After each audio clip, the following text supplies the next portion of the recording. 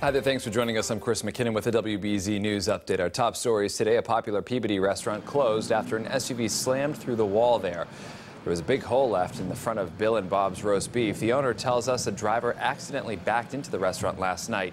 Nobody was hurt. It appears the 63-year-old woman behind the wheel hit the gas instead of the brake.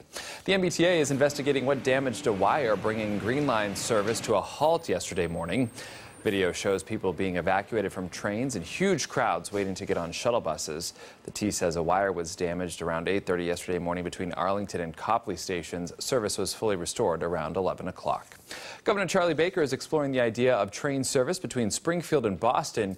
He announced a study yesterday. Congressman Richard Neal calls the idea a potential game changer. Governor Baker also announced rail service from Springfield to Greenfield will begin on an experimental basis next spring.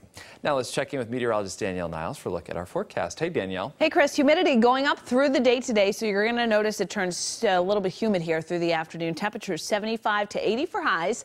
Around 70 on the Cape. Couple showers around too, mainly for the south coast, South Shore, and Cape Cod through early afternoon with some downpours. Otherwise, a shower or two, but nothing all that extensive here. The evening commute should be mainly dry.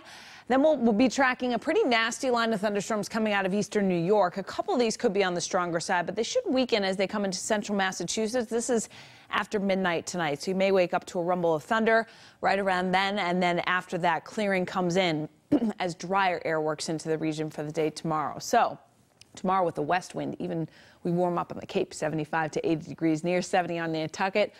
75 to 80 for most of us. A couple low 80s on the map tomorrow. Looking good with sunshine and building clouds, or maybe an isolated evening sprinkle tomorrow. What a stretch. Mid 70s. Fantastic end to the week on Friday. Then we warm up into the mid 80s on Saturday, nearing 90 on Father's Day, Chris, and 90 plus with a late day thunderstorm on Monday. Going to be a great weekend, Danielle. Thank you very much. I'm Chris McKinnon. This has been a WBZ News Update. Have a great day.